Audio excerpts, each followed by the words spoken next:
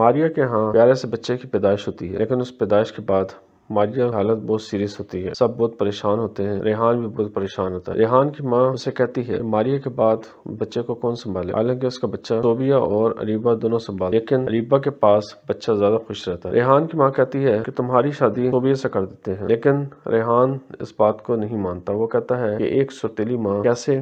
बच्चे को संभाल वो बच्चे को ममता कैसे दे सकती है जो तो असल माँ दे रही है लेकिन वो ये भी कहता है कि सोबिया से ज़्यादा अरीबा ज़्यादा अच्छे बच्चे को संभाल अच्छा उसके पास ज़्यादा खुश है रेहान की माँ कहती है कि ये ज़्यादा मुश्किल हो जाएगा कि हम अरीबा को अपनी बहू बना उधर रेहान और इसकी माँ अस्पताल मारिया के पास होते हैं और मारिया की हालत संभल नहीं पा रेहान ऑफिस से भी छुट्टियां ले लेता है क्योंकि मारिया की कंडीशन बहुत ज्यादा खराब है उधर अरसद बहुत परेशान होता है अपनी